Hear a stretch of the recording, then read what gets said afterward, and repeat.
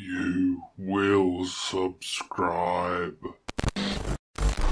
Hey guys, how's it going? Welcome to another tutorial. In this tutorial, I'm going to show you how to export and import mod lists from CKAN.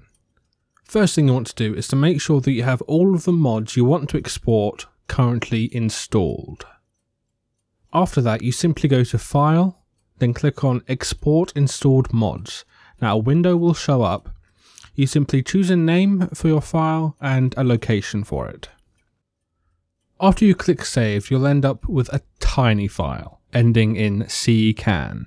Because the file is so small, you can easily send it via messaging apps or through emails if you want, if you want to share it with your friends.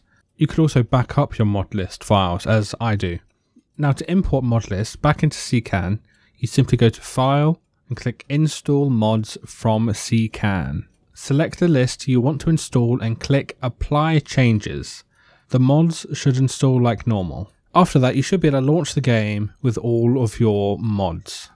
Thanks for watching. If there's a tutorial you want me to make, let me know, and if I can, I will.